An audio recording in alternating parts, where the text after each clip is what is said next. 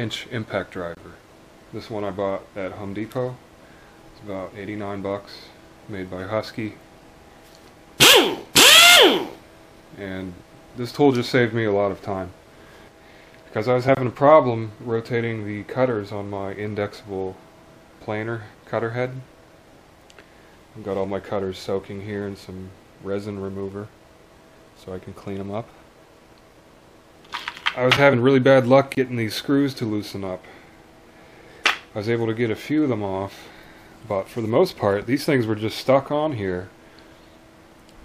And I tried everything.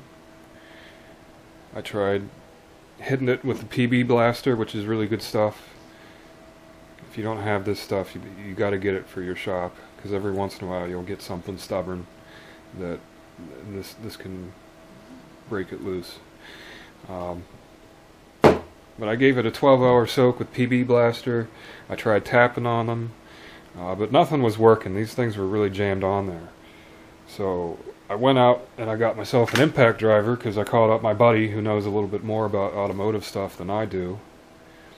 And he told me, "Yeah, what you need is an impact driver. So I never used one, so I don't know how they work. I didn't know what they did. But man, I'll tell you, this thing really made it work. I mean, it took out these things uh, like it was in hot butter.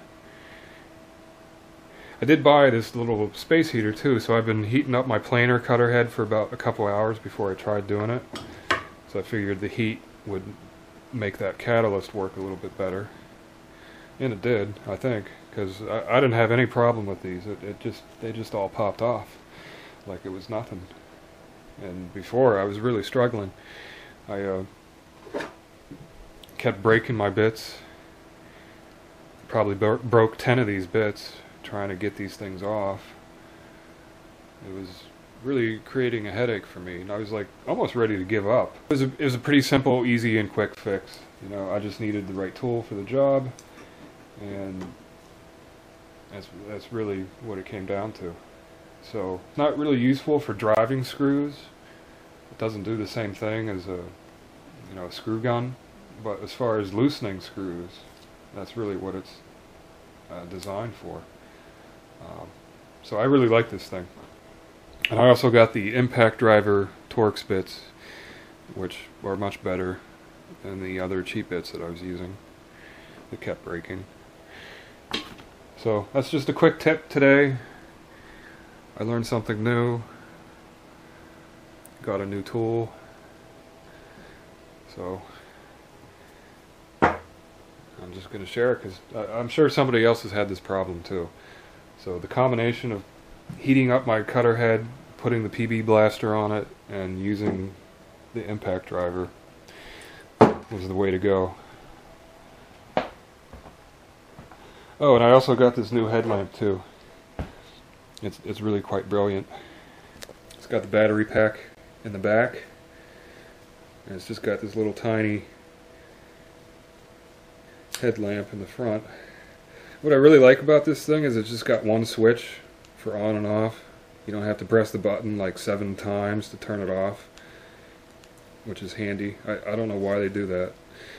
So the best thing about this is it's compatible with hats. So I can put my hat on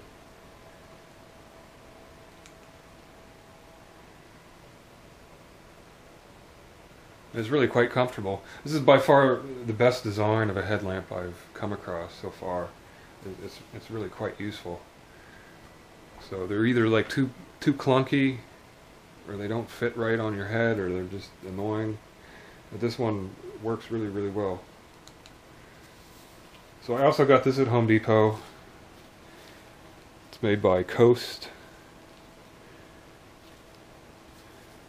So so that's my video today. Got a new headlamp, got an impact driver, and I'm just I'm just coasting.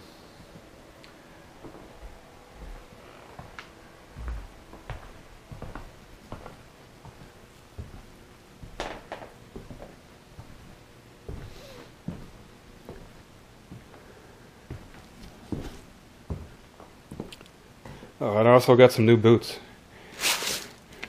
I got the, the same kind of boot that I had before. It's almost the same.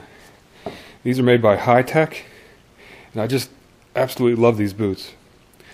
They're, they're not steel toed, um, which you, you may or may not dis- disagree with. I, I don't actually like the steel toed boots because they're just so heavy. But these boots are actually especially light. They're the lightest that I've ever tried. And that really lends itself to the comfort.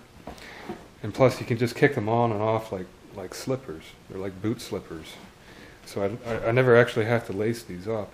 They look a little bit goofy with the tags hanging out in front, but you know they're very comfortable, very lightweight, made by Hi-Tec, the boot of choice at High Falls Furniture. So hope you enjoyed this video.